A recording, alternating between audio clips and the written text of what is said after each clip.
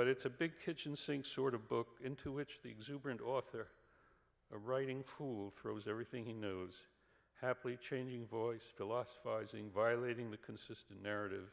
dropping Ishmael, picking him up again, doing everything he can think of, reworking his research, indulging in parody, unleashing his pure powers of description, so that the real Moby Dick is the voracious maw of the book, swallowing the English language.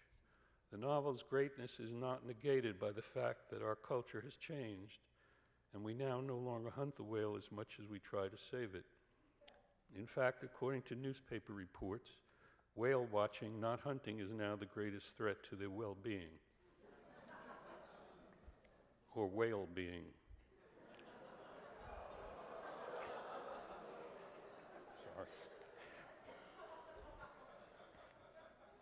Going out in sightseeing boats to frolic with the whales is a bigger industry now,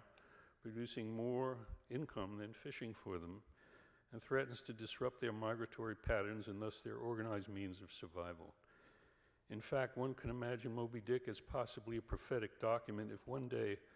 a Leviathan rises from the sea in total exasperation of being watched by these alien humans, who once, at least in hunting them, were marginally in the natural world, but now in only observing them are in that realm no longer, and so rightly destined for the huge open jaw and the mighty crunch and the triumphant slap of the horizontal flukes.